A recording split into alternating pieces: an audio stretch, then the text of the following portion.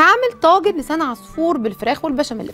طيب عندي كوبايتين لسان عصفور متحمرين بس إنجازها للوقت. ما عملتش أي حاجة غير إن أنا حمرتهم في حتة سمنة وفص مستكة بس لحد ما توصل عندي بالشكل الحلو ده. عندي كوبايتين من المرقة. آه، دي كده خطوة أولى. يعني أنا شوحت لسان عصفور وهسويه معاكم ونشوف بعد كده الخطوات. عندي صدرين فراخ مخلي متقطع صغنن خالص زي ما أنتم شايفين. يعني دايما بحاول إن أنا الكمية أو الحجم بتاع لسان عصفور يبقى قريب من حجم الفراخ عشان لما أجي آخد معلقة يبقى المعلقه شاملة كل حاجة. عندي لتتبيل الفراخ. تتبيلة بسيطة جدا تقدروا تتبلوها بملح وفلفل بس بدون أي حاجة تانية. عندي ملح وفلفل بابريكا وتوم powder وبصل powder ممكن أحط توم fresh وبصل fresh بس أنا عايزة إيه؟ الأكلة دي إنجاز يعني ما تاخدش وقت خالص. فمش عايزة آه، أقول لك افرمي بصل أو افرمي توم. وشوية جبنة موتزاريلا. ده للوش. آخر طبقة عندي هتبقى جبنة. واختياري ممكن تستغنوا عنها تمام. طيب البشاميل. أسهل طريقة للبشاميل في الدنيا بدون بقى إضافات مختلفة بدون مقادير ما تطلعش مظبوطة. جربوها تطلع معاكم حلوة قوي. عندي كوبايتين من اللبن الحليب. لبن كامل الدسم طبعا طبعا أساسي. معلقتين كبار من الزبدة أو السمنة أو الزيت أي مادة دهنية أقدر أستخدمها. عندي كمان معلقتين كبار من الدقيق والإضافة اللي عندي ودي بين قوسين كده اختياري. معلقتين جبنة كريمي أو جبنة اللي هي السبريد أو أي نوع جبنة فيها نسبة دسم. عندي ملح وفلفل جوز الطيب نفس القوسين برضو اختياري. تمام؟ طيب تعالوا كده نبتدي نشوف هنعمل إيه. أنا هسخن الحلة عندي على النار عشان بس أسوي لسان عصفور وبعد كده نتبل الفراخ مع بعض. طيب بصوا أنا محمراه طبعا فالموضوع مش محتاج وقت. هو بس بياخد وقت في التحمير فإحنا بنختصر الخطوة دي. حتى مش هحط أي ماده دهنيه هستنى بس الطاسة بتاعتي تبتدي تسخن هتبل بملح. أنا هسقي بمرقة. فاخد بالي إن الملح بتاع المرقة ما يبقاش آه مع الملح اللي هنا كتير. يعني خدوا بالكم عشان نظبط برضو نسبة الملح. وادي الشوربة عندي سخنة. أدي خطوة أولى. استنى بس الحلة تسخن ونشوف الخطوة اللي بعدها. طيب الفراخ بتاعتي أقدر أعمل إيه بدل الفراخ؟ ممكن أحط بسلة وجزر. يعني ممكن أحط خضار مشكل وأبقى عملت طاجن. هنقول نباتي شوية مش هنقول فيه آه بروتين. ممكن أحط مشروم. يبقى خدت الطعم الحلو والفايدة الحلوة بتاعه المشروم. طيب صدور الفراخ عندي أو وراك آه المتاح عندك. هتبلها بإيه؟ شوية من البصل الباودر والبابريكا أبسط تتبيلة في الدنيا. عايزة أقول لكم إن التتبيلة دي ممكن تعملوها للبانيه. يعني لو هعمل بانيه هعملها عندي بالطريقة دي هتبقى إنجاز وطعمها بيطلع حلو جدا على الرغم إن مكوناتها بسيطة. وشوية زيت. حاجة بسيطة يعني مش كتير.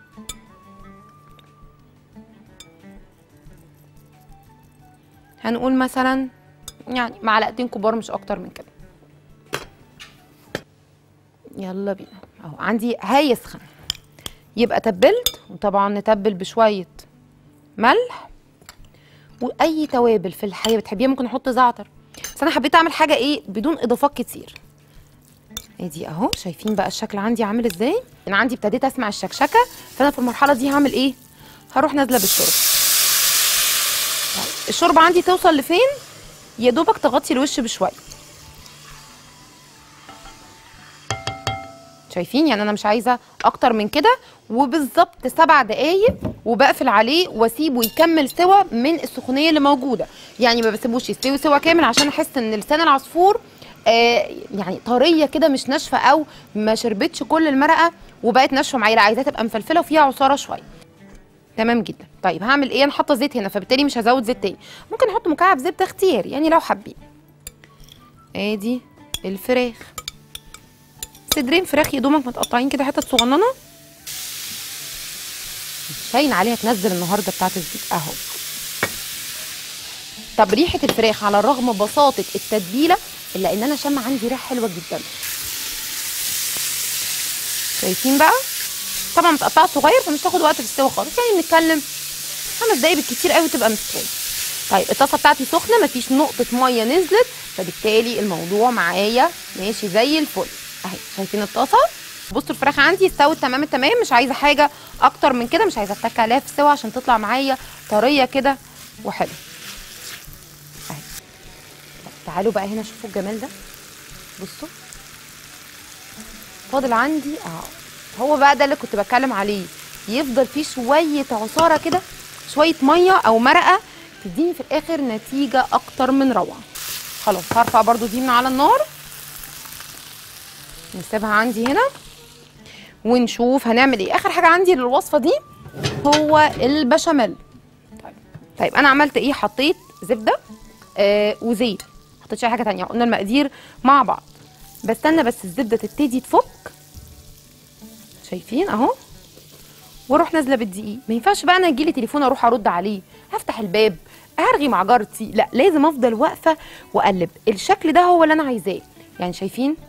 أهو أنا بفضل أقلب كده لحد ما يظبط معايا وألاقي إن القوام كريمي تحت إيدي. ما ألاقيش إن الدقيق مسك ما الاقيش إن الماده الدهنيه قليلة. هو البشاميل حلاوته في المادة الدهنية كتير. عشان برضو إيه نبقى على نور. فلازم أقلب. طب أنا ممكن أنزل في المرحلة دي باللبن أو بالشوربة مثلا ميكس لبن وشوربة أو اللي أنا هعمله بيه. ما ينفعش. لازم أستنى أشم ريحة الدقيق ولونه يتغير درجة. مش درجتين ولا ثلاثة ولا احطه نيه على طول لأ. يعني هوريكم دلوقتي بصوا شايفين اللي هنا في النص ابتدى يبيض. أنا عايزة كله عندي يبتدي يعمل فقاعات كده ويبيض يبيض معايا. هنقول مثلا ياخد 3 دقايق مش أكتر من كده. اللبن بقى أو كريمة أو لبن وشوربة أو كريمة وشوربة ايا كان. بس أنا هعمله التقليدي خالص باللبن. اللبن عندي ما ينفعش يبقى ساقع قوي ما ينفعش يبقى سخن جدا. يعني سخن دي موضوع منتهي. لكن آه، ممكن يبقى فاتر أو ساقع. مفيش مشكلة هيظبط عندي برضو الموضوع. شوفوا اللي أنا كنت بتكلم فيه إن لونه دي إزاي يتغير للأبيض.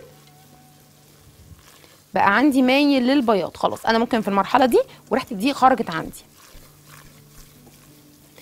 ايد بتقلب والايد التانية نازلة. ما بسيبش ايدي. تدريجيا أهو. أقدر ازود بقى قشطة بلدي. قشطة نباتي آه، اي توابل أنا بحبها.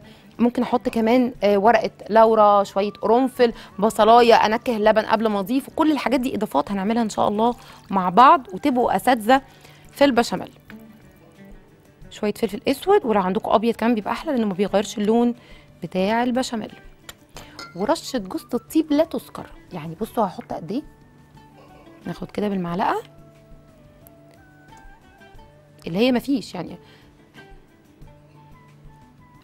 النار عندي لازم تبقى تحت الوسط بشوية ما تبقاش عالية قوي عشان البشاميل بتاعي ما يعملش طبقة قشرة وما تبقاش هادية قوي عشان ما نمشي جنب الحلة. يعني عايزين برضو ننجز عشان ما نقفش في المطبخ كتير. دي الجبنة السائل بح... الجبنة اللي هي السايلة بحطها في الآخر خالص. وبسيبها تدوب على مهلها. بس خلاص. هسيبها تسيح بقى. طب ممكن أحط موتزاريلا ممكن أحط تشيدر ممكن أحط رومي أي جبنة في الحياة موجودة. عارفين دايما بيفضل في باب التلاجة قطعتين رومي كده ما بيتاكلوش. افرموهم وأحطهم بقى هنا. حالا. طيب أدي الطاجن بتاعي. بنعمل إيه؟ باخد معلقة بسيطة من البشاميل. بغلف بس الأرضية. ناخد كده لسان عصفور. حط نص الكمية مثلا. بصوا طبقات من الجنب عندي بيبقى شكلها روعة. وأحط الفراخ. وشوية بشاميل. شايفين الفكرة في طبقات زي ما بعمل مكرونة بشاميل بالظبط بس ممكن أحط شوية بشاميل هنا عشان يربط عندي الكلام.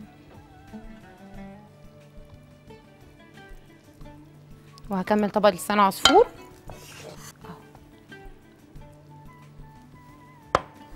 بسوي بقى كويس قوي عشان أحط البشاميل بتاعي يبقى مظبوط كده وكل حاجة متساوية. شايفين أصلا الشكل من الجنب لوحده يجوع. ناخد كده معلقة وأساوي الوش وهقلب كمان السمبوسة دلوقتي عشان اوريكم لونها بقى حلو إزاي. بضغط كده بس كويس. وبنزل بباقي كمية البشاميل. لو انت شغالة في المطبخ مثلا سبتي الوصفة وعايزة تركبي الطبق ادي شوية لبن صغيرين هيظبط معاكي القوام. شوية جبنة بقى.